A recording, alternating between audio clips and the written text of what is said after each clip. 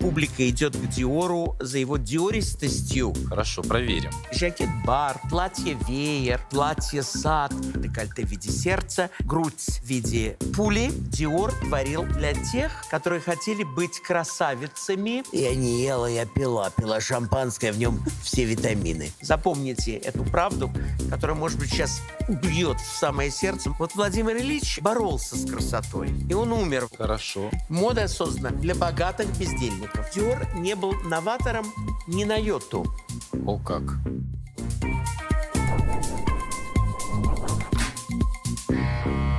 Привет, друзья, это модный подкаст, и сегодня мы говорим о модном доме Dior. Конечно же, говорим о его основателе Кристиане Диоре, о том, как менялся облик дома после его ухода, ну и, конечно же, о том, какое влияние оказали на бренд э, сменяющие друг друга креативные директора.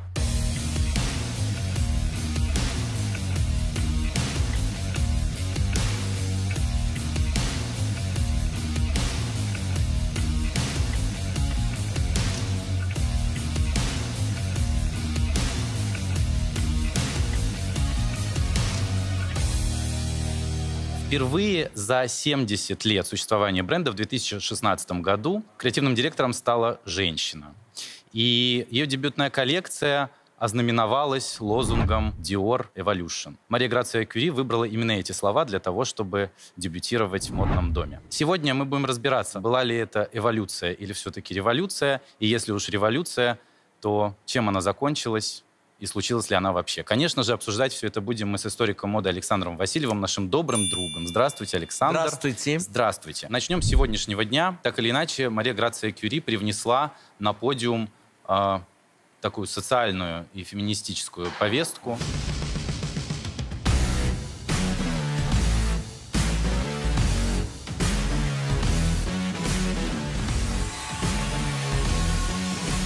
Как вы считаете, насколько вообще это созвучно с тем, что происходило в доме Диор в начале его пути. В доме Диор в настоящий момент работает 85 тысяч человек. Это не просто дом моды, это огромный бренд с огромным количеством подразделений и огромным количеством бутиков, шоурумов, которые находятся в разных частях как и все другие бренды, пандемия нанесла сокрушительный удар по люксу. И э, последние цифры, которые рассказывают о творчестве Марии Грации Кюри, которые есть у меня, это товарооборот чистой прибыли 7 миллиардов евро в год. Имеем ли мы право критиковать итальянку, женщину, феминистку Марию Грацию, если под ее началом цифры так высоки. Другое дело, что цифры 2020 года не опубликованы. И я уверен, что это цифра 19 -го. И, возможно, они и не будут опубликованы, потому что наверняка, как говорят все, товарообороты сократились приблизительно на 80%. То есть возможно, что падение – сокрушительное. Но тот факт, что во главу дома поставили женщину, итальянку, не француженку, дизайнера талантливого, симпатичного, но которая не имеет возможности сильно оторваться от корней, естественно, потому что ДНК бренда совершенно особенная – и публика идет к Диору за его диористостью, а не за чем-то другим, все-таки может иметь плохие последствия. Дело в том, что итальянский вкус совершенно противоречив французскому. И как бы не хотела Мария Грация стать парижанкой, это невозможно. Невозможно не только потому, что она не родилась в этом городе, но невозможно потому, что итальянцы всегда хотят приукрашивать. Вы скажете, а Джон Гальяно вообще был цыганом из Гибралтара. Да. Так и есть. И он тоже все приукрашал. А но они... Но тоже итальянцам. Но э, это не был успешный дизайнер. Но они никогда не хотели особенно э, диористости, потому что и Ферре отошел от идеи, и Джон Гальяно очень сильно ушел от изначальной концепции женщины и истории платья, которая, как говорил великий основатель Кристиан Диор, в платье должна быть одна тайна. Да, но А по- у Гальяно было по 18 тайн в каждом Это платье. безусловно. И вот по воспоминаниям, вспоминая Гальяновского Диора, а, там было гораздо больше Гальяна, чем Диора. А сегодня появилась новость о том, что акции владельца Louis Vuitton и Dior выросли до исторического максимума своего. Акции LVMH, которому принадлежат такие бренды, как Louis Vuitton, Christian Dior, в среду поднялась до своего исторического максимума. За день бумаги компании в Париже торговались по 613,9 евро. Ну, видите, значит, после пандемии они выросли еще в два раза. О чем это говорит? О том, что люди соскучились по люксу, им хочется выходить, и э, огромное количество людей и в Китае, и в Эмиратах, и в Японии, и в США, и отчасти и в России хотят одеваться в красивую, хорошо сшитую, люксовую А, одежду. а как вы считаете, связано ли это еще и с тем, что Мария Грация Кюри очень лояльно относится к потребителю, очень лояльно относится к клиенту и громко об этом заявляет? Мария Грация не является моим любимым дизайнером, и ее творчество не является для меня культовым. И я думаю, что это, как бы сказать, пассажир э, недальнего следования. Она проедется в поезде Диора. Как считаете, сколько еще? Ну, мне трудно сказать. Вы знаете, традиция этого дома долго не держать дизайнера. Совсем недавно она выпустила книгу, которая называется весьма смело «Ее Диор». Как вы считаете, насколько Диор ее? Сегодняшний Погодите, Раф Симмонс выпустил фильм «Диор и Диор? я». Да, Диор и Это я. так и должно быть. Гальяно выпустил книгу «Диор и Гальяно». Это нормальный ход, который необходим для маркетинга. Просто название книги именно в контексте того, что она женщина, которая единственная пока на этом посту, выпустила книгу «Ее Диор». До этого Диором руководили мужчины всегда. Я даже, знаете, пойду дальше. Сделаю предположение, кто будет следующим дизайнером Кто? Диора. Афроамериканец. И мужчина. Мужчина, но афроамериканец. Иначе не будет продаж. Мир так сильно поменялся. Мы теперь не можем держаться только на белой части населения. Хорошо, проверим. Да, пожалуйста, Проверим. у меня легкая рука. Мир сегодня всерьез обеспокоен экологической обстановкой. Все индустрии стараются переосмыслить свой подход в направлении защиты окружающей среды. Бренд Dior, о котором мы говорим сегодня, тоже не остался в стороне. Их коллекцию весна-лето 2020 назвали максимально зеленой. Отличительной чертой стали цветочные принты, созданные с помощью живых растений. Для декорирования подиума использовали 164 дерева, которые потом были посажены в лесах под Парижем. Эко-движение не стоит на месте. Сейчас для создания таких продуктов, как гель для душа или стиральный порошок, учитывают не только безопасность для человека, но и экологичность, а значит, безопасность для природы. Наши друзья из компании Synergetic делают этот мир лучше, используя растительные компоненты в составе своих эко-средств. Это касается всех линеек компании Synergetic, от средств по уходу за телом до средств для уборки дома. Синергетик. Заботой обо мне, о вас и о мире вокруг. Вернемся в самое начало и вернемся к основателю. С удовольствием. Кристиан Диор родился 21 января 1905 года. Дата очень значимая и для меня символичная. 21 января – это день смерти Владимира Ильича Ленина. Вот Владимир Ильич боролся с красотой, и он умер в этот день. А Кристиан Диор воспевал красоту, и он родился. Но он родился не только он. Ровно за 10 лет до его рождения, в 1895 году, 21 января родился Кристобаль Балансиага. Это странное совпадение.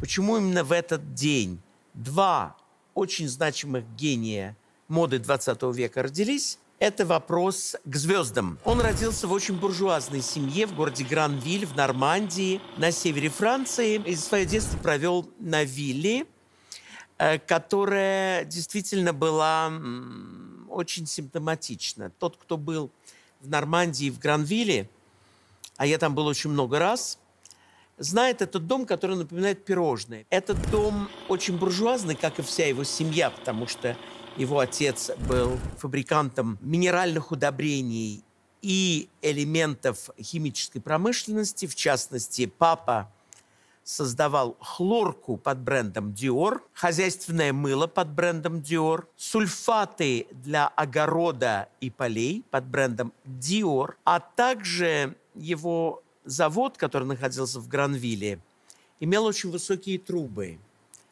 И постоянно при перемене нормандского ветра дымил на город. Маленький крестьян знал от соседей выражение «Диор развонялся», потому что все выхлопные дымы мешали э, экологии, экологии людей. этого города. Я это говорю, что вы поняли, какую роль парфюмерия сыграет в жизни Диора. Он ненавидел с детства отвратительные запахи, не пошел по стопам отца. У них был очень успешный синдикат, который выпускал много, и он мог его развивать и хорошо зарабатывать. Мама Кристиана, а всем известно, что Диор в своей жизни любил только одну женщину, свою маму. Обожал цветы. И перед домом в Гранвилле, и сейчас, и тогда большая высадка роз, лилий, множество клумб. Это все не случайные слова. Цветочные ароматы – база всей парфюмерии Диора. Дом и сад был наполнен этой удивительной цветочной аурой. Кристиан рос не в аристократической, а в буржуазной атмосфере. Дом был обставлен японской бамбуковой мебелью и мягкой кутанной мебелью и представлял собой очень милое буржуазное жилище с одним важным «но». Я сейчас говорю о психологии Творца. Окна дома Диор выходили на кладбище. Кладбище, естественно, католическое, потому что во Франции католики. Очень каменное, где не было абсолютно никакой растительности, но были постоянные похоронные процессии. И маленький мальчик запомнит на всю жизнь. Вспомните любой показ дома Диор. Вереница дам в длинных платьях, в больших шляпах с темной вуалью на лице, утянутые в корсете. Было бы странно, если бы он не стал создателем именно этих черных, длинных, широких платьев. Папа и мама выглядели как настоящие французы. Дело в том, что интернет полон всего, кроме фотографий семьи дом Диора никогда не хотел фокусироваться на семейных архивах Диора. Но мне очень повезло. Мне удалось купить семейный архив дома Диора. Он мне принадлежит. Да вы что? Дело в том, что одна из сестер Диора, которая никем особенно не стала, сохранила фотографии папы, мамы, свадьбы, маленького крестьяна, играющих детей. И все это попало на один из небольших французских аукционов. Выглядели они крайне буржуазно. В них как раз вот не было этого аристократического, никакого сумасшествия, никакой фривольной фантазии. И когда смотрим на то, как выглядели мужчины на свадьбе и дамы, огромную роль играли бутоньерки с цветами. Мама была женщина невысокого роста, стройная. Она очень любила серый цвет – Серый цвет в принципе был в моде тогда. И это неудивительно, что впоследствии Кристиан Диор тоже это любил. Она была женщина обеспеченная. Папа очень хорошо зарабатывал. Но, будучи буржуазской, она не потратила всю фортуну семьи на платье, но переодевалась. Когда Кристиану исполнилось только 9 лет, началась Первая мировая война а вместе с ней новый силуэт, так называемый кринолин войны. В связи с тем, что женщины пересели на публичный транспорт, э, поехали работать на заводы и фабрики, э, платья не только укоротились, что очень важно впоследствии для Диора, они стали шире.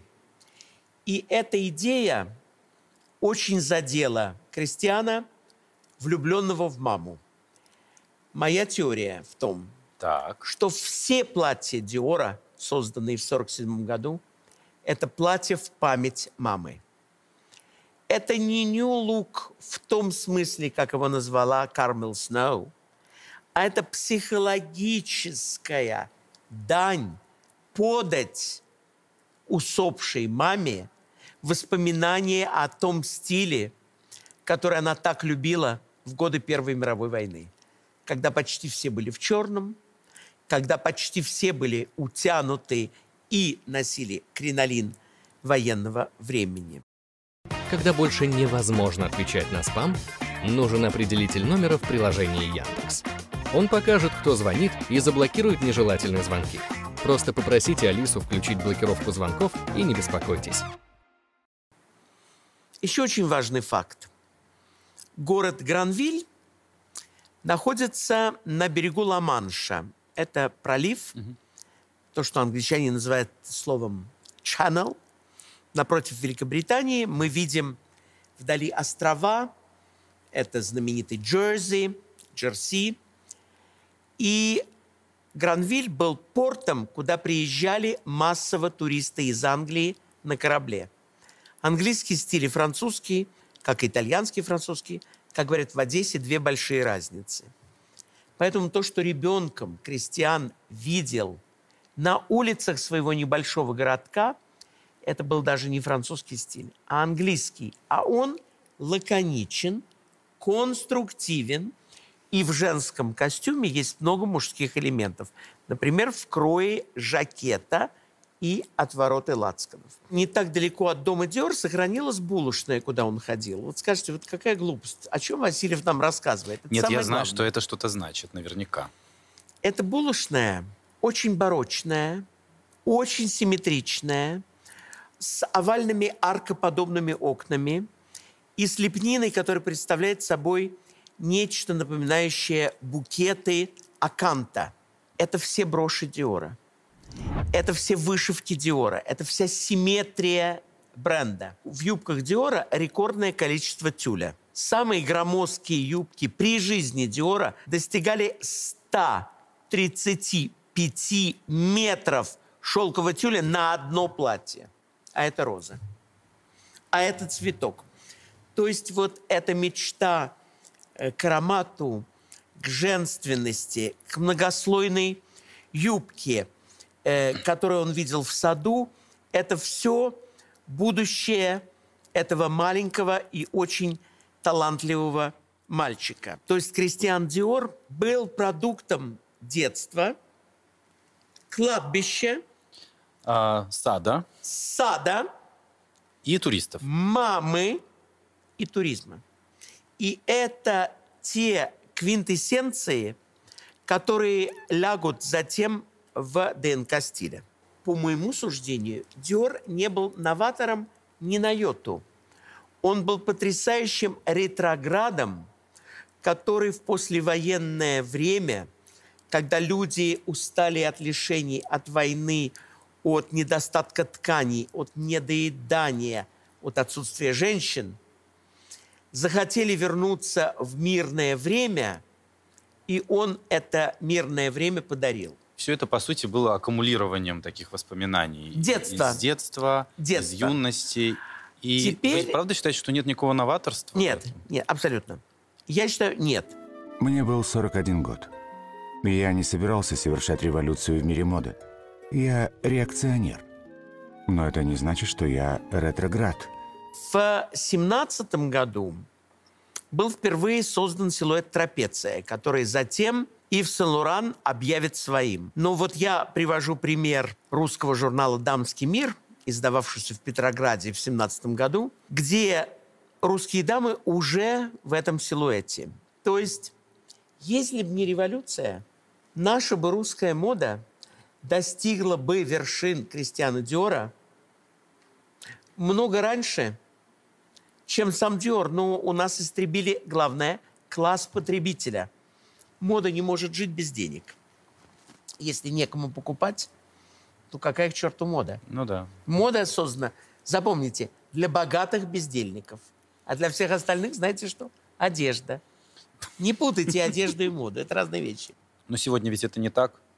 Это тоже так. Потому что брендовая одежда как стоила огромных денег, так она и стоит. Но ее зато сегодня так э, цитируют активно. Правильно, ее можно купить. Кошельки, что называется. А, а вы думаете, ее раньше не цитировали? Ее всегда цитировали. Если речь идет о брендах, это всегда безумно дорого. Если речь идет о копиях брендов, это всегда было безумно дешево.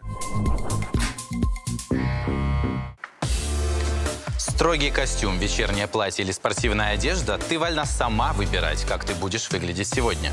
Будь уверена в себе вместе с новым поколением высокоэффективных антиперспирантов Деоника.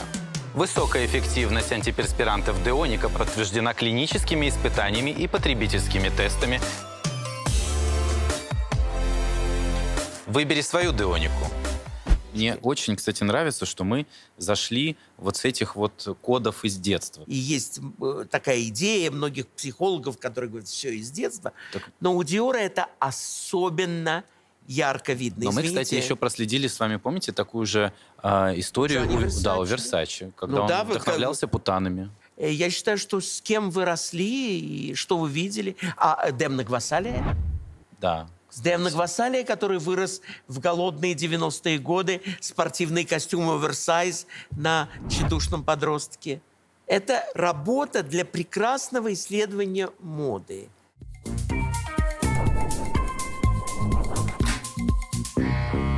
По окончании войны множество домов стали открываться просто потому, домов моды, что во время войны у них не было достаточного бизнеса и достаточного количества клиентов.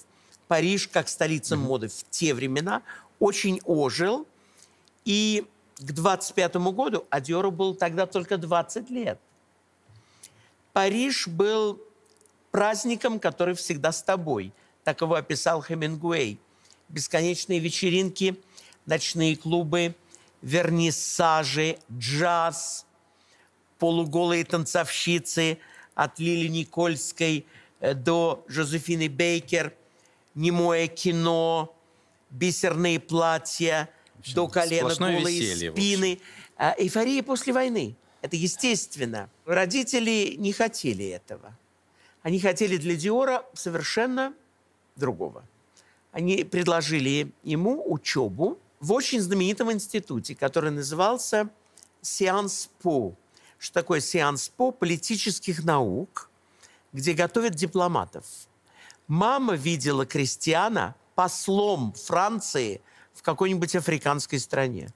Но Диор сбежал через год. Он не выдержал ни объема знаний, ни направления, которое его совершенно не интересовало. И он умолил богатого папу дать ему денег на открытие художественной галереи. Ведь Диор не собирался быть кутюрье. Э, Скажу больше, Диор стал кутюрье под своим именем. Давайте пристегнем привязные ремни в 42 года. Главной причиной открытия галереи Кристианом Диором и его первым другом было то, что Диор осознал, что он не создан для женщин, и он поселился с галеристом под одной крышей. И совместно они стали торговать эм, неплохим искусством, а именно Сальвадором Дали, Дюфи, Пикассо и рядом других очень известных художников 20-х годов, которые станут впоследствии культовыми художниками 20 века. Но как бы ни выселились э, в эпоху 20-х годов, кризис был недалек. В 29 году осенью рухнул доллар.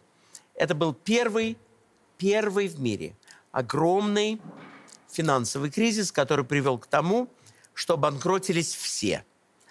Все те, кто жил в области люкса и кто жил на лишние деньги. И в результате обанкротился и папа Диора, чьи химические удобрения и чьи прекрасные сульфаты оказались не первостепенным продуктом. Во время кризиса всем нужно хлеб, молочко, Да-да. базовая одежда. И что-то, чтобы прикрыть наготу. Там у вас как кашка какая-то, Присохло. каша утренняя. А вы знаете что? У меня на носу куры ели колбасу. Сначала разоряется отец. В 1931 году, если я не ошибаюсь, умирает мама. И это огромный кризис для Диора, потому что э, папа не может ему давать больше денег. А его сердечные друзья тоже разорены. Он живет, но живет не в проголодь, но очень бедно и в трауре. Траур – это цвет 30-х годов, черный цвет, один из самых главных э, цветов предвоенной Европы. А тут важнейший факт, который почему-то у нас в России все время выпускается. Так. Диор не только пострадал морально, но и заболел.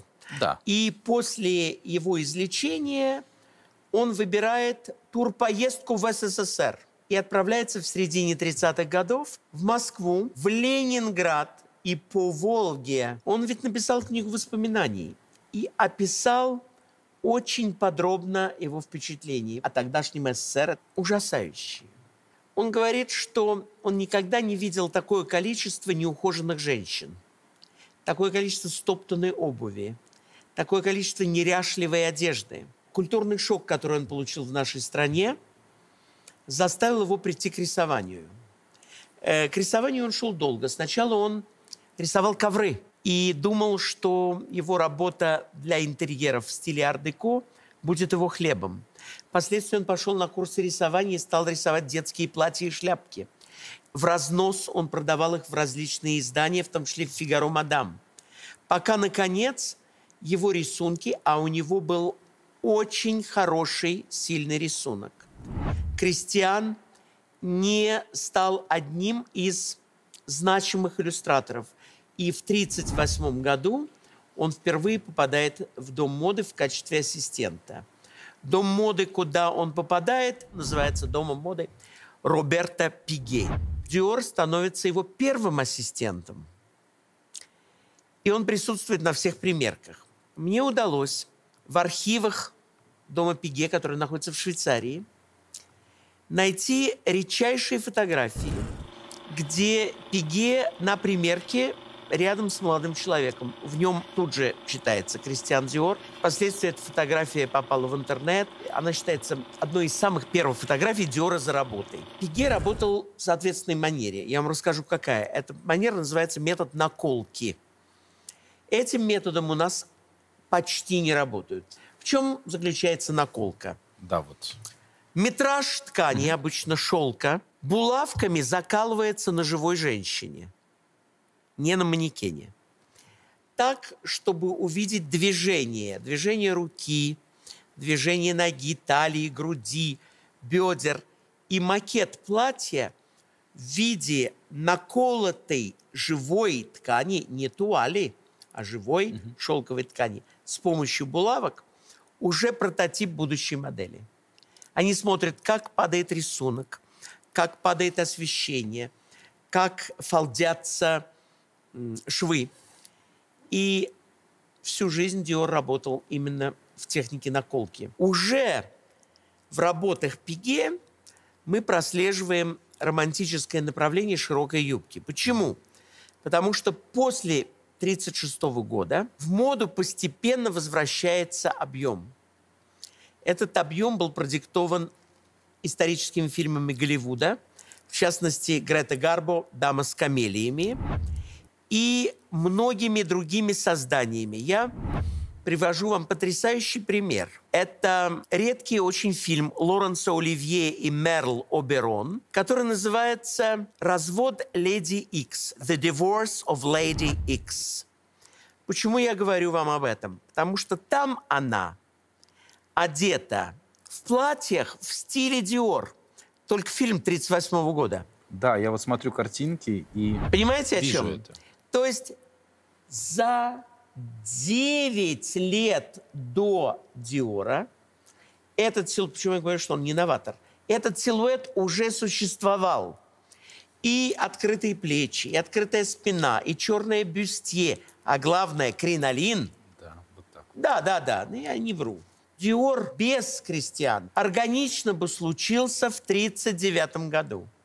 Но началась Вторая мировая война. И все производство люкса закрылось.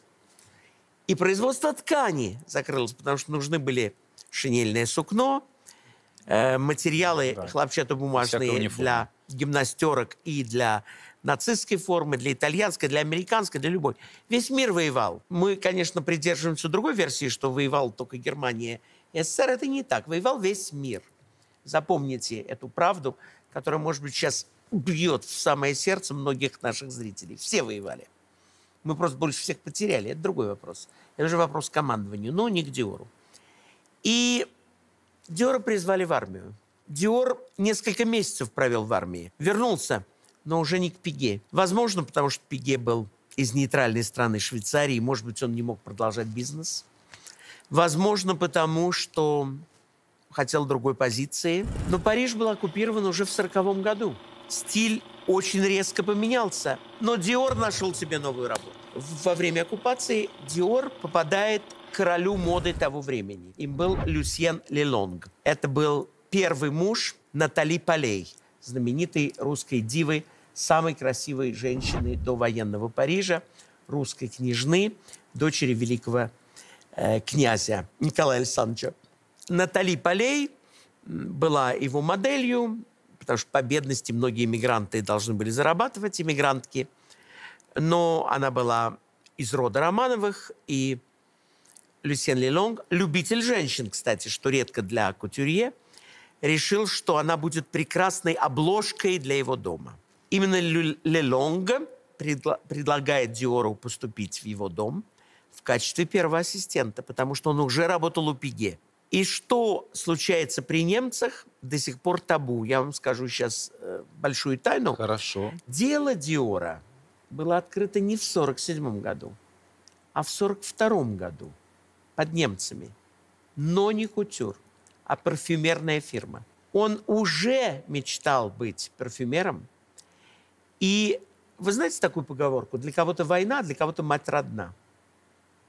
Это тот самый случай – Диор, зная, что регистрация брендов дешевая во время войны, спроса никакого, и он даже, может быть, и не хотел ничего выпускать, но он зарегистрировал свое предприятие. И когда впоследствии он придет к Бусаку, у него будет в сумочке контракт на существующий бренд. Понимаете? Это уже полсражения. Зарегистрировать свою торговую марку очень трудно. У Лелонга он хорошо рисовал. Но у Люсьена Лелонга он работал в одном кабинете не один, Так. А с кем же? а с Пьером Бальменом. Пьер Бальмен, в будущем великий конкурент Диора, ставший знаменитым кутюрье, бренд которого и сейчас жив, был тоже ассистентом у того же прекрасного э, Люсьена Лелонга. Тут я не могу вам сказать, насколько отношения Диора и Бальмена были близки. Это мне неизвестно.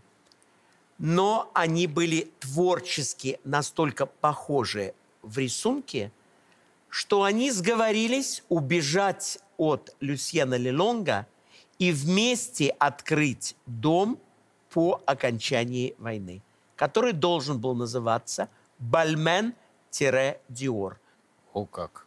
Дальше Бальмен обманул Диора. В один прекрасный момент он нашел спонсора, инвестора, видимо, не предупредив своего друга, И решив, зачем нам дом на двоих? и решив, быть зачем нам дом на двоих, и открылся за год до Диора, в 46 году. Война в Париже закончилась уже в 44-м, но э, победа в 45-м, естественно, трудности, недостаток клиентов, денег, материалов, все это, и Диор увольняется от Лелонга, думая, что они вместе с Бальменом идут по жизни рука об руку. Но не тут-то было. И когда Диор оказывается без работы, потому что назад его уже не берут, скандал, без э, будущего, он идет Париже по улице Сан-Фиакр. Это было в 46 году. И подскальзывается на звезде. Это так звучит романтично, как сказки Ганса Христиана Андерсена. Эта звезда сейчас хранится в музее Диора. Она сделана из железа. Она полностью ржавая и пятиконечная. И была она декором какого-то экипажа XIX века. На ней он подскользнулся, как на шайбе, и упал на два колена. Вот все это звучит, знаете, после этого не верь в судьбу. Подняться ему в буквальном смысле помог прохожий. Этот прохожий был Марсель Бусак, который именно в этот момент проходил по той же улице. С Бусаком миллионером из Гранвилля. Кристиан Диор был знаком с детских лет. Жизнь их затем развела. Они не встречались, но знали о существовании друг друга. И, сильно ударившись, поблагодарив Марселя Бусака и раскланившись, он сел с ним за чашечку кофе. Они поговорили о судьбе. Диор признался о том, что у него нет работы, что у него есть марка духов, что он хотел бы развиваться, но никаких нет возможностей. И Марсель Бусак, миллиардер по тем временам, текстильный магнат, который имел на складе километражи черной, коричневой и серой шерсти, которая была дико не в моде в тот период, спросил, а какого типа дом моды крестьян ты хотел бы открыть? Он сказал, романтичный, с платьями очень широкого силуэта, как носили до войны Мерло Берон, прекрасные вечерние. У Марселя Бусака счетная машинка находилась здесь. И она сделала так. А сколько метров?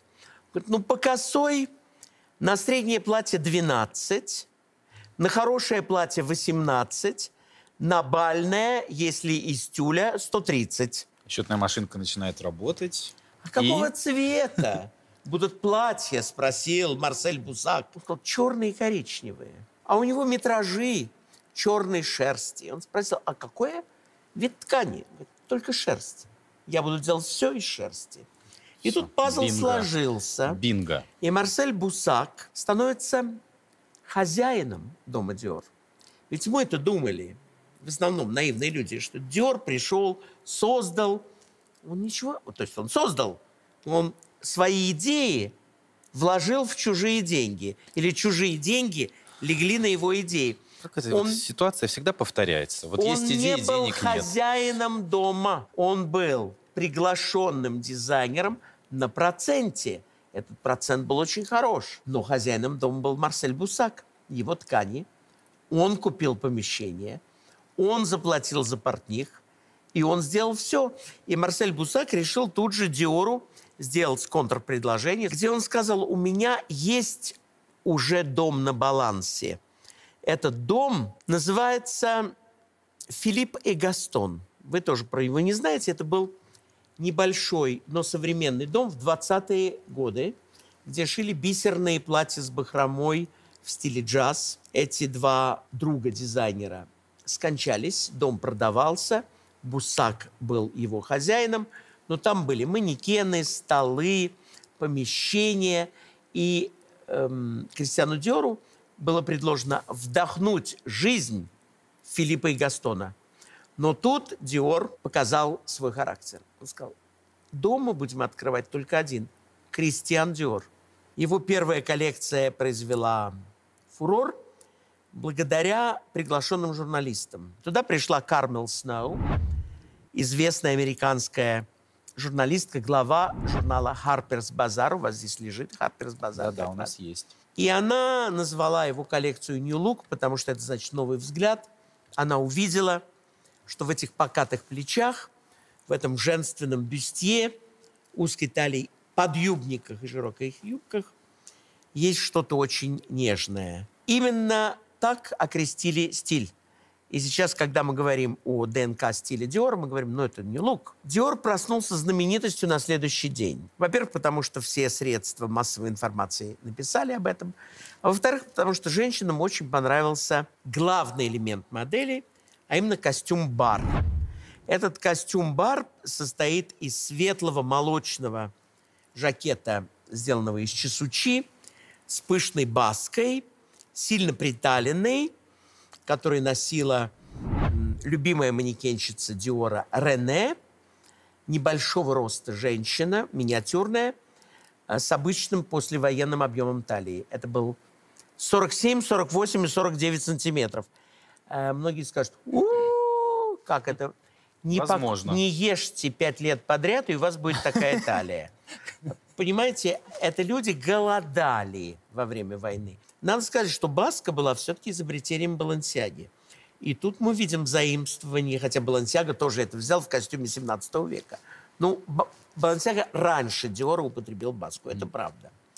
И широкая юбка солнцеклеш из шерсти э, в плиссе с очень узкой обувью, так называемые лодочки с острым носом, на шпильке, который делал для нее Роже Вивье для коллекции Диора.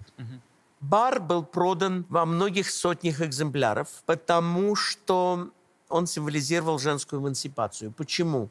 Женщина в нем могла пойти в бар, винный бар, одна без мужчины. А после войны поиски мужчин было главной целью женщин. Это был костюмчик для того, чтобы выглядеть органично. Он взрослил женщин, но давал надежду мужчинам. Ведь мужчины всегда смотрят грудь, талия, бедра. У Диора это было очень хорошо видно. Тем более И- там были подушечки, по-моему. Да, в, и самое важное... на бедрах. Да, самое важное, что в баре есть тот элемент будущей мамы. А, кстати, вот, э, вот этот жакет-бар э, показан в оригинале, он хранится вон там вот на, э, в доме Диор. И Очень в много. фильме, где Раф Симмонс, Диор и я, они там его достают, и в Да. нем... вот Понимаете, их щупают. сделали так много сотен экземпляров, что этот жакет хранится во всех музеях моды А там мира. он преподается как вот, это вот тот а, самый. наверное, у них прототип. Прототип-то был один. И Раф Симмонс там его щупает и говорит, о, вот здесь подушечки. Прототип один, который был сделан для Рене. Но копий было сделано Да, безусловно. изобретением этого времени был новый тип бюстгальтера. Бюстгальтер, который назывался пуля после войны. То есть э, две боеголовки, направленные как пирамиды, немножко в стиле того, что Мадонна в будущем Нем- носила от. Готье, Да. конусообразный. И многие вечерние платья этой коллекции поражают нас вот этой пулей, то есть гипертрофированной женственностью и новым положением бедер. Успех превзошел все ожидания, и женщины в моделях Диора вызывали зависть, только зависть. Почему? Потому что очень много ткани, очень много подъюбников, капроновые чулки со швом, новый тип обуви на шпильках, дорогое белье, дорогой корсет внизу, дорогая шляпка и дорогие перчатки. Все дорого. Все то, что не имело альтернативы в дешевом магазине. То, что предлагал Диор, было очень эксклюзивно. Диора часто называли булавочным тираном, потому что он тиранил женщин длиною подола. Каждый год он говорил, сколько сантиметров от пола надо носить. Это настолько нравилось, что в эпоху железного занавеса советские женщины, которые не имели возможности ездить в Париж и точно не имели возможности покупать у Диора, постоянно интересовались у всех тех, кто побывал за границей. Сколько сантиметров за колено должна быть юбка? Один палец, два пальца, три пальца, четыре пальца, ладонь. Это волновало абсолютно всех. И все знали, что каждый год это меняется. И это было их очень важным элементом интереса. Скажу больше. На модели Диора стали нападать. Нападать домохозяйки, разрывая во время фотосессии платье прямо на моделях, считая, что нерочительно в эпоху карточек, а в Париже были тогда карточки в 1947 году, носить столько ткани. И когда начались турне Диора в США, есть фотографии, где в аэропорту его встречают разгневанные женщины с лозунгами «Господин Диор, Улетайте обратно. да, улетайте обратно, мы не И будем платье носить». свои заберите. Да, мы не будем носить платье в пол. Это считалось неправильно. Салют, приглуши свет. Салют, включи мультики. Раиса, принеси тапочки. Жаль, что не все понимают вас так хорошо, как виртуальные ассистенты «Салют» в ТВ-приставке Sberbox. При покупке Sberbox подписки на специальных условиях.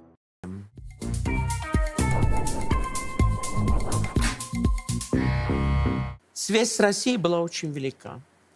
В 1947 году в состав его элитных манекенщиц вошла княжна Татьяна Кропоткина, внучка знаменитого московского анархиста, в честь которого названа станция метро Кропоткинская. Но наши исследователи, у нас же есть исследователи, они вот как раз не исследуют то, что надо, а надо исследовать Татьяну Кропоткину, как она попала к Диору, сколько лет она там прожила у него, почему он выбрал именно ее. И я уверен, что э, наши, после нашей программы найдутся такие, которые найдут ее свидетельство о рождении, потому что она родилась в Москве, и точно адрес, где она жила до революции, э, как она попала в Париж. И вторая его муза была полурусская, полуказашка, знаменитая Алла Ильчун, родившаяся в Харбине, которая сейчас стала притчей во языцах, потому что даже в Париже выступ... выпущена книга Музы Диора об Али Ильчун, а в Казахстане говорят о том, что поставят ей памятник в городе Астана, теперь Нур-Султан, потому что это самая красивая казашка, которую любил Диор. Когда она пришла устраиваться к нему на работу, она пришла с другой русской манекенщицей, соискательницей места, но глаз Диора упал именно на раскосые глаза этой полуказашки. И ее повели в гримерную, переодели и перечесали. И Диор сказал, берем. А Алла Ильчун ответила, я никуда не пойду. Я подавальщица в столовой имени Рахманинова. И у меня чаевые большие. Зачем мне ваш никому неизвестный дом? Он тогда еще не был открыт. Когда она узнала, сколько ей будут платить, она бросила столовую Рахманинова Ну, разумеется. и стала топ-моделью у Кристиан Диора. У нее был объем талии 47, она проработала у Диора 20 лет после смерти Метра. Она оставалась под режимом и в Сен-Лорана, и Марка Буана, и поправилась только на 2 сантиметра. Она уволилась с объемом талии 49. Я был очень хорошо знаком с Аллой Ильчун, и я спрашивал ее, Алла, что вы ели 20 лет, чтобы поправиться на 2 сантиметра? Алла сказала, Каков же ответ? я не ела, я пила. Пила шампанское, в нем все витамины. Это так. Действительно, из не очень привлекательной казашки, есть фотографии, она стала звездой подиума благодаря э, новинке. Под ее глаза были подрисованы стрелочки. Это были первые стрелочки в мире. Диор творил для тех, которые хотели быть красавицами, золушками на балу, в роскошном платье, одна без взгляда других женщин, на лестнице Гранд-Опера, как запечатлел его любимый фотограф немец Вилли Майвальд, которого я тоже лично знал, где лицо женщины всегда закрыто. Диор не всегда хотел, чтобы женщина ставила себя на место манекенщицы. Она слишком типична. Он часто фотографировал их за- от затылка, потому что ему нужен был силуэт. Силуэт, К нему потянулись звезды.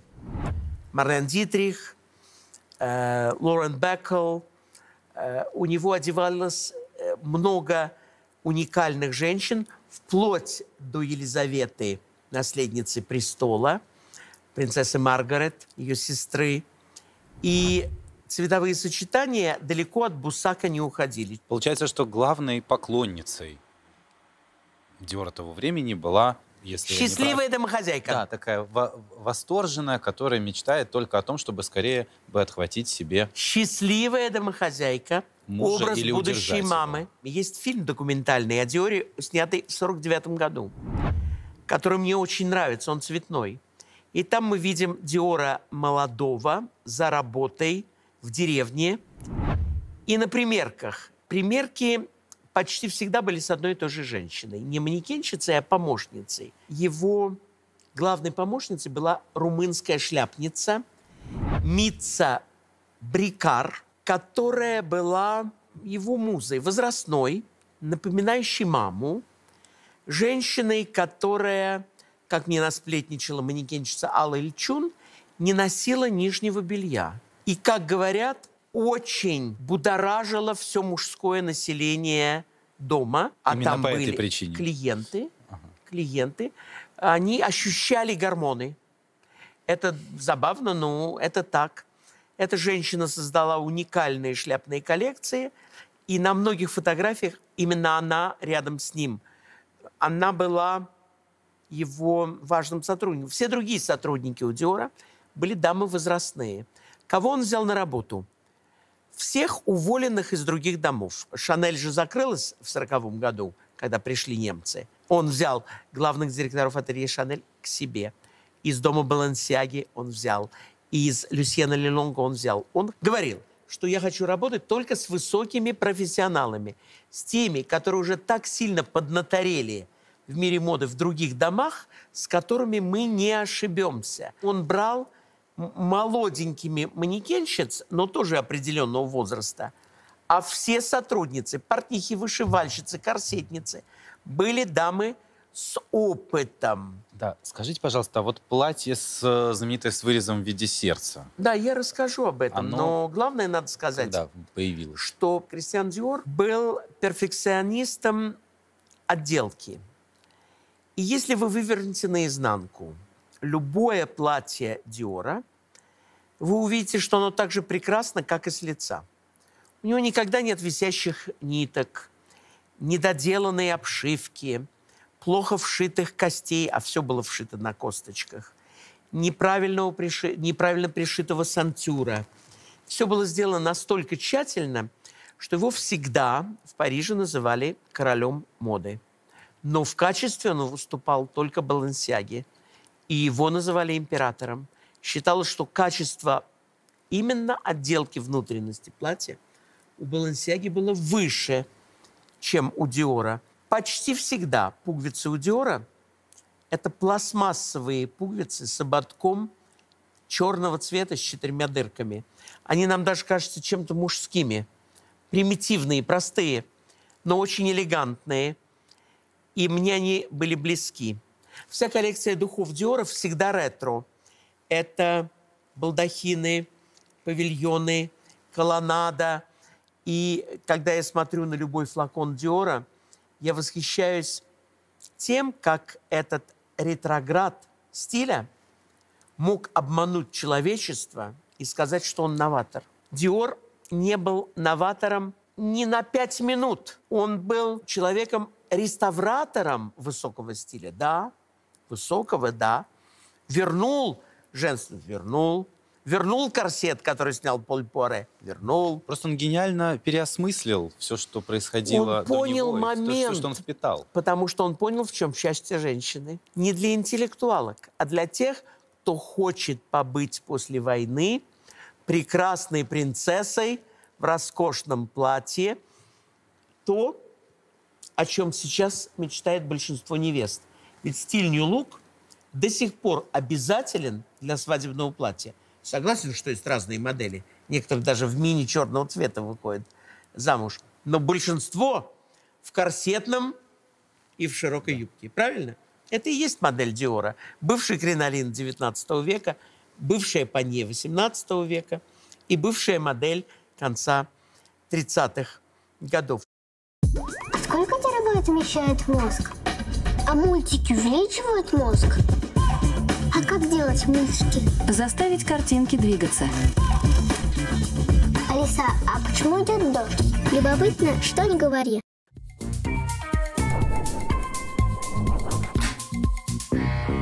Настало время приоткрыть тайну личной жизни Диора. Я далек от сплетен, но долгое время Диор любил знаменитого декоратора Кристиана Берара, который ему изменил с Борисом Кухно, а впоследствии другом Диора был эстрадный певец, которого люди сегодня не знают, но я даже собираю его пластинки, потому что это тоже история моды. Тони Сандро, настоящее имя которого был Жак Бенита. И этот молодой человек – родившийся в Северной Африке, станет даже причиной смерти. Но об этом чуть позже. Далеки от слухов, но близки к предположениям. Ну, Будем выражаться так. А Да. правда ли, кстати, что э, Кристиан Диор очень часто обращался к услугам таролога? И А я сейчас расскажу. очень часто ему гадали. Э, Диор был дико суеверным. Он часто раскладывал пасьянсы сам себе, э, занимался ворожбой на картах, ходил к тарологам и эм, был человеком, который страдал многими суевериями. Но у него были очень хорошие качества. Главное его качество было то, что он никогда не изменил костюму своего папы. Он всегда был одет в темный костюм двойка или тройка, светлую рубашку, галстук селедочка. И он напоминал внешне э, юриста, адвоката, зубного врача. Кстати, да. Он никогда не был вот тем, чем был Гальяно. Чем-то экстравагантным, эпатажным. Э, вспомните Александра Маккуина, Джона Гальяно. Правда? Да кого угодно. А вот про Диора действительно нельзя было, мне кажется, сказать, что он имеет вообще И творческую все профессию. сотрудники дома имели такой дресс-код. Мало того, в его доме в свое время работала Аделина Андре, одна из создательниц мини-дома в Париже. Она мне рассказывала, что униформы каждой портнихи, каждой шляпницы и цветочницы был белый врачебный халат. Почему? Диор говорил, только в белом халате меня не отвлекают цвета платьев и галстуков моих сотрудников. А традиция, кстати, с белыми халатами тоже, опять же, судя по документальным фильмам, Да, она, она до сих пор сих еще пор. существует. Надо сказать, что Диора очень поддерживала Эвита Перон, в ту пору знаменитая супруга президента Аргентины, есть даже фильм такой Да, фильм «Эвита». «Эвита». Она помогла ему открыть бранч, иными словами, дом моды Диор в Аргентине. Но в эпоху Диора к 1955 году, я вам скажу, он уже располагал домом 1700 сотрудников. У него было 8 компаний, зарегистрированных с брендом Кристиан Диор, и 16 филиалов в разных странах. То есть Диор Австралия, Диор э, Америка, э, Нью-Йорк, Диор Лондон, э, Диор Рим. Это к 55 году, да. получается. То есть буквально Диор за, получается, за 7 лет. Денег было много. Главные коды дома Диор — это жакет-бар, Я бы сказал, что главный код Диор – это притально расклешенный силуэт. А в нем вы можете найти и жакет-бар, и платье-веер, и э, знаменитые э, модели э, Венера и Юнона. Вы можете найти э, платье-сад. Это не суть. Суть, что это был приталенно расклешенный силуэт с максимум ткани, ненужным даже количеством ткани, но который бы потакал расчетливым планом главного спонсора дома Марселя Бусака. Это первое. Затем код – это, конечно, аккуратность отделки. В третий код – это шпильки и острый нос. Четвертый код – все маленькие шляпки на голову, которые должны э, прикрывать небольшую прическу. Как правило, декольте. Причем соблазнительное, но не сексуальное. Это может быть декольте в виде сердца, это может но быть... знаменитая, которая вот так. Да, ну, которую вы уже видели у Мерла Берон. Это вещи, которые всячески подчеркивают худобу женщины, эм, грудь в виде пули и широкие бедра. Это обязательные условия. Ну и, конечно, я бы сказал, работа с цветом. Не могу сказать, что Диор не использовал цветочные ткани. Использовал, и даже очень много. Но большинство его хитов и топ-селлеров были однотонные ткани. Это было более типично. Диор вошел в кризис жанра уже в 1954 году. Я вам скажу, почему. Он изработался, ведь эм, ему надо было создавать сначала по две, а потом по четыре коллекции в год, следить за каждым филиалом, посылать туда рисунки. Это был нескончаемый поток работы. А он уже был не так молод, ведь в 1955 году ему было уже 50 лет. Я не говорю, что в 50 лет мужчина выдыхается, вовсе нет. Но это не был юноша... э, Юношеский запал прошел. К счастью, подвернулся и в Сен-Лоран. Он подвернулся не случайно. Молодой Сен-Лоран, мы о нем говорили, приехал тогда из Алжира и участвовал, э, участь в синдикате высокой моды в Париже, в конкурсе шерсти, спонсором которого был Марсель Бусак, не Да, да, случайно. да, как мы помним. Мы, И- кстати, ссылочку прикрепим сейчас. э, Здесь можно ознакомиться будет с этим поподробнее. Да, абсолютно.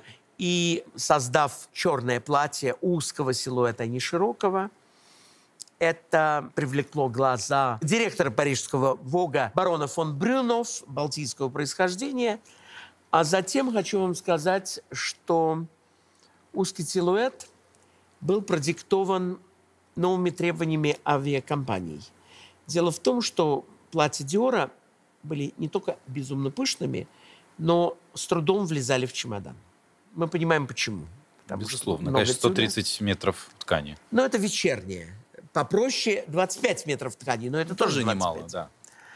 И так как самолеты наращивали мощь, люди хотели путешествовать, узкие костюмы, которые Шанель предложила по своему возвращению из Швейцарии в 1954 году, влезали в чемодан запросто по 7 штук. А вот эти широкие платья вовсе нет. И то, что предложил Ив Сен-Лоран узенький силуэт, был воспринят клиентками ну, с аплодисментами. И начиная с 1955 года у Диора большой ренессанс. Три буквы алфавита, линия H, H, по-английски A, A и Y, созвучная первому э, имени. Да. Э, многие будут э, подозревать, что у Диора и Ива был роман. Я спрашивал э, современников, все сказали, такого не наблюдалось. Но узкий силуэт победил широкий, и он станет очень элегантным благодаря э, знаменитым манекенщицам Диора Лаки и Довима, и затем знаменитая манекенщица Виктуар, который предаст Диора и уйдет с Ив Сен-Лораном. Он был настоящим папочкой, и все манекенщицы, которых я знал, я знал немало, э, говорили о том, что он их пестовал как родных детей. Что Диор позволял своим манекенщицам? Брать платье на свидание с любовниками. Он говорил им, ты должна выглядеть хорошо, ты же из моего дома. Ты идешь на съемки, возьми хорошее платье на складе, выгляди опрятно. В общем, всячески следил за Он имиджем дарил им вне раз. В год кутюрное платье каждый. Дарил. Но теперь, знаете, становится понятно, почему все они рыдали на его похоронах. Да, но мало того, он им покупал чулки, он им выдавал более. обувь. И э, его считали добрым папочкой. И я думаю, что таким характером он и обладал. И он очень многое прощал. Он прощал, например, Али Ильчун, которая была настоящая сумасбродная хулиганка.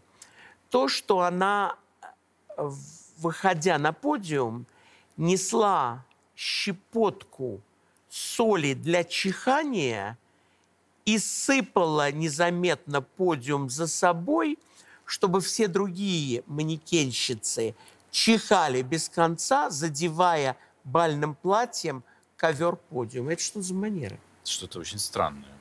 Ну, она была такая... Ну, такая бы, игривая. Игривая. Назовем это так. Да, она щипала, например, в гримерной манекенщиц длинными плать... э, пальцами ног. Пока у нее были очень длинные ноги, пока она разговаривала с одной, она вытягивала ногу свою. Почему бы и нет? собственно говоря. Ну, это, вариант развлечения. Это были такие развлечения. Э, Ив Сен-Лоран освободил Диора от э, многих мыслей, потому что его знаменитое платье Довима со слонами – это уже триумф нового стиля, который Диор предложит. Диор подписал очень выгодный контракт с домом Сваровски mm-hmm. и э, выпустил огромное количество бижутерии, э, сделанной в ретро-стиле для дома Сваровски и его будущее во многом было определено талантом э, Ива, который хоть и работал несколько по-детски, но создал очень много интереснейших моделей для этого дома в тот момент, когда Диор влюбился. Последний роман Диора датируется 56 годом. Это был тот самый певец э, Тони Сандро, который был много моложе, а Диор был лысоват и полноват. Тони Сандро будировал его и не обращал на него никакого внимания. Диор подумал, что ему надо сесть на диету. И тут печальный конец. Он уехал в Монте-Катини, в Италию, недалеко от Флоренции, где он стал промываться минеральной водой, сидеть на жесткой диете, пока, наконец, он не скончался за столом от сердечного приступа. Как мне сказали манекенщицы, это от того, что он переел в тот день после долгого голодания. Возможно, он сорвался. Но факт остается фактом. Причиной смерти Диора была неудачная любовь. Может быть, большие переживания. Ну, косвенный, да. Косвенные.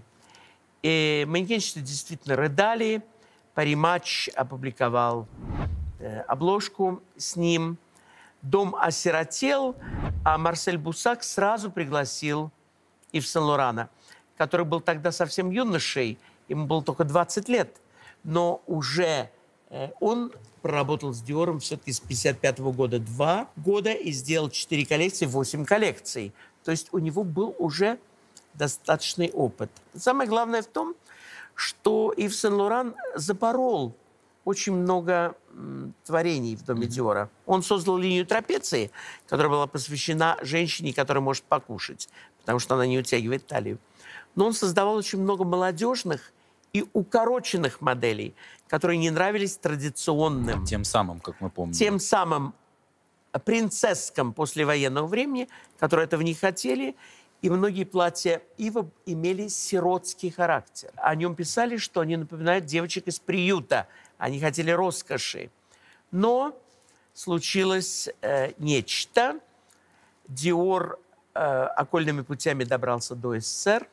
Напомню вам, потому что мы находимся в России, что в 1956 году вышел фильм «Карнавальная ночь», где Гурченко одета в прямые цитаты Нью Лука Диора, правда, на 9 лет позднее его создания.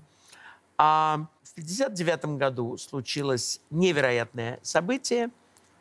Екатерина Алексеевна Фурцева пригласила Дом Диора поучаствовать в фестивале мод в Москве.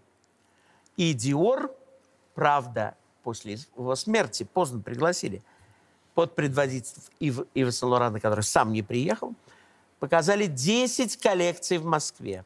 То есть 10 показов. Одну в посольстве на Якиманке и, соответственно, 9 в Доме культуры «Труд». Коллекция называлась «Христиан Диор». Это вызвало невероятный резонанс и кучу фотографий в ГУМе, в Кремле, в Троице-Сергиевской лавре с совершенно удивленными и страшными, испуганными лицами москвичей, которые не понимали, что так можно ходить. Модели были все очень классические, очень привлекательные, очень женственные. Это было первое знакомство в эпоху Хрущева с высокой французской модой. Напомню вам, что предварительно в 1935 году Эльза Скиапарелли приезжала, приезжала, в Москву. Но разница между показами, где 35 год и где 59 То есть э, эти фотографии, конечно, взорвут интернет. Тот, кто не видел, будет поражен. Э, но Иву Сен-Лорану долго работать не пришлось. Пришла повестка в армию, его Да, как мы э, помним. отправляют, комиссуют, и на его место берут Марка Буана, другого творца, который работал в филиале в Лондоне. Он проработал у Диора 29 лет. Это самый долгий период, гораздо дольше, чем сам творец, 10, 10 лет, да. Дольше, чем Джон Гальяно, дольше, чем все. Дольше, чем вообще все. Почему я говорю об этом? Потому что сегодня он еще жив, знаете, он не скончался. Марк Буан полностью забыт людьми. Его считают не очень талантливым. Я не делю этой мысли. Потому что не очень талантливый человек не может удержаться Почти в 30 лет. топе большого дома моды, одного из самых больших в мире, 29 лет, создавая 4 коллекции в год. Посчитали, сколько он создал? Достаточно. А было ли в них какое-то новаторство за эти почти а 30 не требовалось. Публика, которая одевалась в Диоре, новаторства не просила. А главное, что он даже был противником мини-юбки, как и Шанель. Э, Если я не ошибаюсь, пер- первая мини-юбка у э, Марка Буана была в 69 году. То есть очень-очень поздно, уже когда были хиппи. Но Марк был очень качественным в работе. У него одевалось огромное количество королев. Королевы Европы, многие королевы. Норвегия, Дания, э, Швеция, э, Голландия, Бельгия. Считалось одеваться у Диора, это просто королевское платье. Было выпущено очень много косметики. А главное, дом существовал. Потом скажут, он несколько захерел. Да, может быть, и захерел, потому что его продали недорого. Ведь вы знаете, Бернар Арно купил его в 84 году, а Марка Буана уволили в 89 То есть он еще пять лет, если я правильно считаю, правильно, пять лет проработал при новом хозяине. Почему Арно купил э, у Бусака? Во-первых, потому что Бусак был уже очень стар и э, скончался, и его э, продавалось все хозяйство, а это была империя. Там была куча текстильных фабрик, которые были уже неприбыльны. Почему? Потому что Предапорте убило э, час- э, частное портновское мастерство. А модели авторства следующего креативного директора? Следующий был Франко э, Ферре. Джан Франко Ферре. Он пришел, да, в 89 году.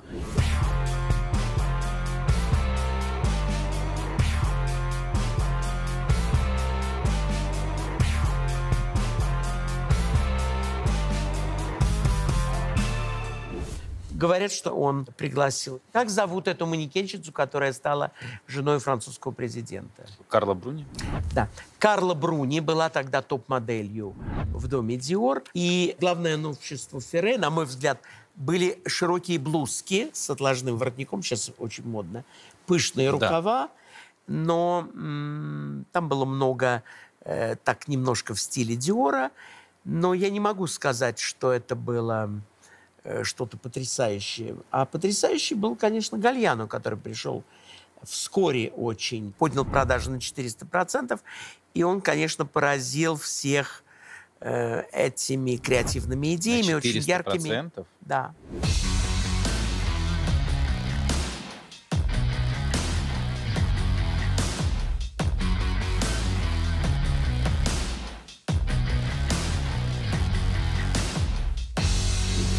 Конечно, это было очень Достаточно ярко, долго. это было очень красочно, и его новшество было посвящать каждую коллекцию какой-то теме. Например, «Я и индейцы», «Я и маркиза Казати», то есть Диор и маркиза Казати, Диор и русский балет, э, Диор и э, путешествие... революция. Французскую революцию и так далее. И он постоянно придумывал какие-то уникальные темы, и каждая тема так запоминалась. Во-первых, он показывал свой широченный кругозор, он, он у него был, и эм, Диор на него очень сильно тратился. Я вам скажу почему. Гальяно выторговал у Диора оплачиваемые каникулы, если я не ошибаюсь, в течение месяца в любой уголок земли в роскошных отелях для вдохновения, для инспирации. И каждый э, год, а может даже и два раза, он улетал то в Амазонку, то в Африку, то в Китай, то в Японию, куда ему было интересно, для того, чтобы проникнуться духом страны, напитаться красками, напитаться тканями, вышивками, духами и создать что-то. Я лично считаю, что Гальяно был просто гением мира моды. И он попал в тот момент, когда в моде был минимализм, и он его перевернул, э, на, положил на лопатки и создал новый стиль, который называется исторический максимализм. Яркий представитель был, конечно же, Версачи и Валентин Юдашкин. Это творцы э, одного стиля, то есть приталенно расклешенный, много блесток, много деталей, перьев, экспрессии. много экспрессий, очень женственно. Э, Уволили Гальяна, вы знаете, в результате антисемитского скандала, Скандал. о котором я могу рассказать. Я совершенно уверен, что это была подстроенная акция. И я вам расскажу, почему. Это же случилось э, в 2011 году. И скажу вам, почему. Гальяно любил выпить, да. Он Может быть, и до сих пор любит, ведь он еще Погодите, жив. Да. Ну, в ту пору, когда он работал у Диора, вот о чем я говорю. Я лично был с ним знаком один раз. Мы вместе судили конкурс моды в Бельгии, в школе Ля Камбр. Гальяно ходил всегда в один и тот же бар. Этот бар находился в Море, и якобы там он любил пропускать рюмочку другую э, после э, работы. И в этом баре оказалась пара, которая состояла из, э, если я не ошибаюсь, арабки и иудея, которые мирно беседовали. Э, Он, ему предложили, кажется, выпить, или он предложил выпить. Если это видео, можно все это восстановить. Не надо даже слушать мой пересказ этого скандала. Главное, что завязалась перепалка, в которой он этого иудея назвал а, иудеем и сказал, ты, мол, вообще что ты здесь делаешь? И вот э, во время войны Гитлер и понеслось. Ну, что сказал пьяный человек, это одно. Но другое, что весь разговор был четко записан на да. камеру, которая стояла на штативе, твердо установленным на стойке бара. Не с руки телефона, не такой камерой. Но вообще, да, в барах не часто устанавливают камеры Никогда. на штативах. Мне кажется. То есть я уверен, что это э, была форма увольнения. Он должен был покинуть дом. Думаю, из-за того, что это стоило дорого. А может быть, продажи стали падать, а может быть, мода стала меняться. Разные могли быть причины. А может быть, потому что слишком много было вот этого или вот этого. Но всего вместе. я уверен, что он был спровоцирован, этот скандал. И э, что мне подсказывает, что я прав? Фиксация камеры. Понимаете, вот э, если бы это не фиксировали с самого первого слова его до самого последнего, а просто, знаете, достали телефон, сейчас запишем из полслова, вы говорили раньше, Но с другой стороны, увидели, что пришел Джон Гальяно. Мало ли там какой-нибудь бармен оказался большим поклонником. Взял телефон, вот так вот, поставил на кружку Да, с пивом. Но на следующий, погодите, но на следующий день все это было отправлено Куда надо? в английский журнал Sun, и это прошлось по телевидению. Скандал огромен. Мало ли что он записал, если он поклонник. Поклонник не будет продавать это за деньги в желтую прессу. И э, чтобы избежать скандала, дом прервал контракт. Дальше были попытки взять и других создателей. Их сейчас даже не хотят вспоминать. Почему? Ну, потому что между Рафом Симмонсом и Гальяну прошел год. И кто был? Бывший друг Гальяна, я забыл его фамилию, который продолжал это делать. Просто это даже не пишут. Просто Симмонс иудей, и это было нужно сказать. Мы не, не антисемиты, как заподозрили Только Диора. поэтому? Да, э, главная причина. Ну, Главная а как же причина. талант? И... Он очень талантливый, но он минималист. А Диор, э, а Гальяно был максималист, и продажи были такие. Ну так, может быть, как раз пришло то самое время, когда нужно было попробовать что-то новое. Э, И Согласен с вами. с его Я, багажом. дом, в котором работает 85 тысяч человек, и 7 миллиардов оборотов, а сейчас еще больше, не может совершать ошибки. Если они его таким образом, по-русски говорят, слили, значит, он был по какой-то причине им не нужен. И этот скандал только подогрел интерес к дому Диор. А затем вот... э, Три года правления Рафа Симмонса Опять были без власти, опять было два дизайнера. Просто они были такие незначительные. И потом только вот Мария Грация в шестнадцатом году. Я знаю, что все дизайнеры в доме Диор после смерти всегда уволены. То есть Диор умер своей смертью, а все другие, которые пришли, всегда были уволены. Пример. Ив Сен-Лоран, Марк Буан, эм, Джан-Франко Ферре, Джон Гальяно, Раф Симмонс. И я просто думаю, что ждет Марию Грацию. Не до смерти она там будет работать. Ну уж надеемся. Сохраняется ли сегодня код Диора? Да, сохраняется. При том, что... Используют ли его все остальные? Все Да, безусловно, используют. конечно, потому что это великое наследие, но сохраняется ли код Диора в доме Диор сегодня? Скорее да, конечно же, чем нет. Уровень шитья. Вы знаете, вот э, когда я был там внутри, ходил в архивы, меня, конечно, поразили старые столы, скрипящие лестницы, э, вот атмосфера старины, ну, старины 47 года, но все равно старины. И полное нежелание, вот как у нас в Москве, сбить плитку на станции метро. Говорит, а чего они тут так бастуют? Это же старая плитка была. Поставим новую. Вот в доме Диора не хотят. И большое количество портних, которые работали еще при Буане. Буан – это для них э, топовое шитье. А Диор для нас – это уже очень старый дом.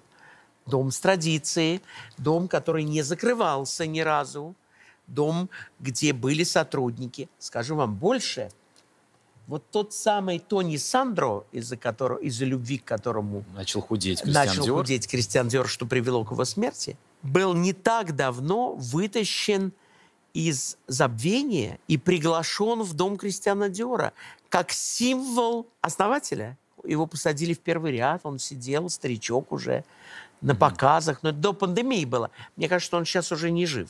Но то есть они хотели каким-то образом вспомнить, ну, вот все-таки последняя любовь Кристиана.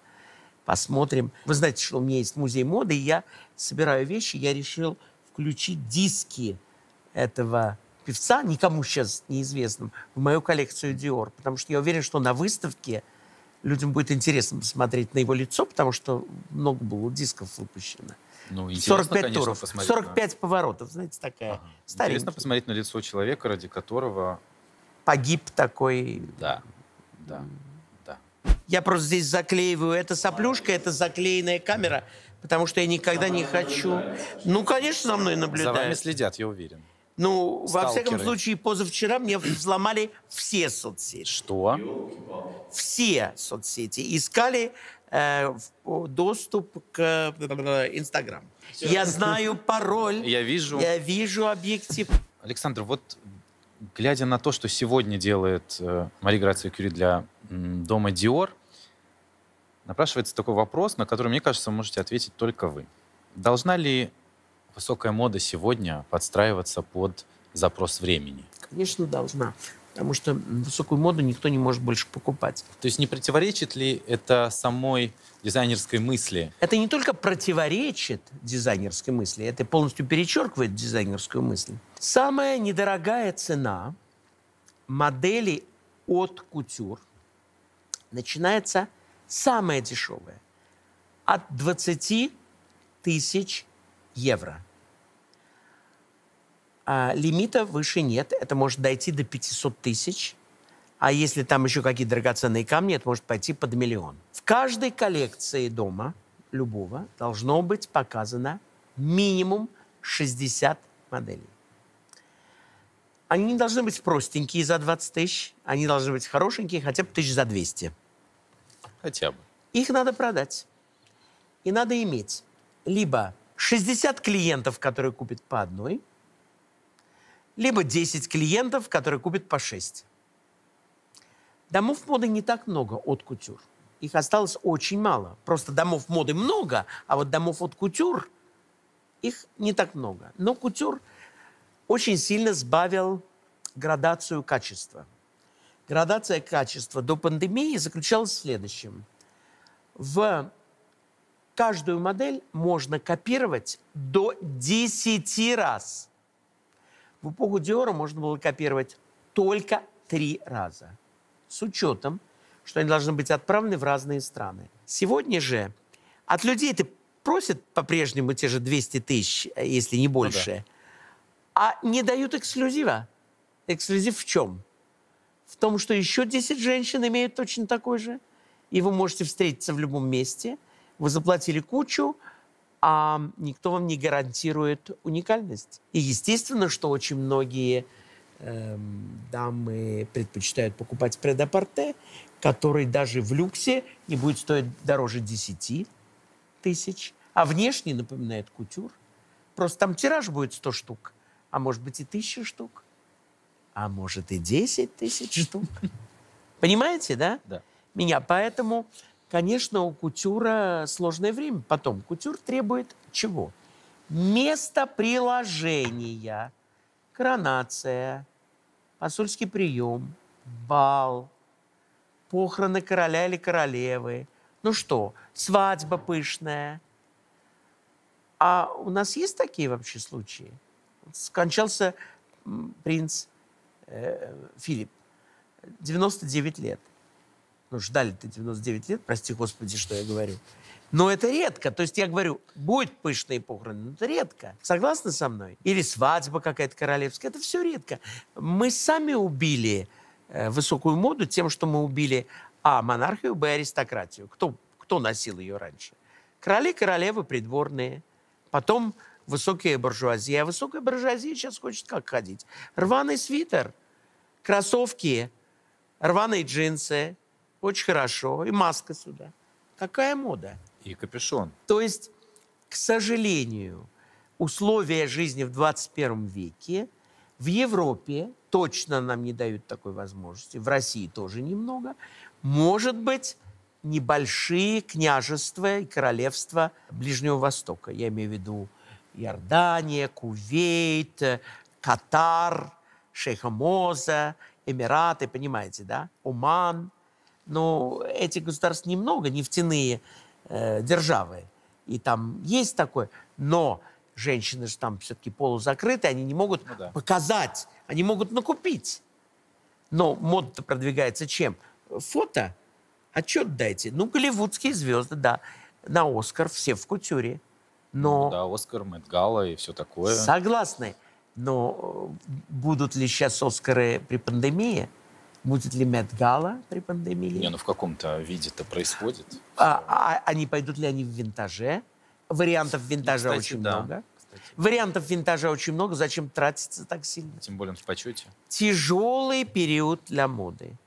И э, то, что дом Кристиан Диора жив, владеет огромной империей, слава Богу. И как мы выяснили, еще и наращивает свои. И наращивает свои Стоимости. акции. Да. Спасибо Марии Грации. Вы знаете, что директор сегодня это Синди Толиано. Он э, держит все это в своих руках, но он также является директором очень многих других брендов в LVMH. В общем, Э, караулит. Да, смотрит, караулит, чтобы да. было хорошо. Да. Ну а нам что остается? Следить э, и проверять информацию и предположения о том, как скоро Мари Грацию Кюри сменит Какой-то афроамериканец. Я думаю, афроамериканец. Спасибо вам, Александр, Спасибо вам. большое за этот э, продолжительный, но очень насыщенный Ну, рассказ, тебе, потому что Господи. мне кажется все-таки, что вы как никто проанализировали с самого рождения Да. природу Это самое интересное. и вот эту вот эти коды человека и то потом, как он отразил это в творчестве уже, когда ему стало за Ну, 40. дом Диора Это- питается именно этими это кодами, детскими кодами. гениальные, гениальные наблюдения. Спасибо вам Спасибо большое. вам.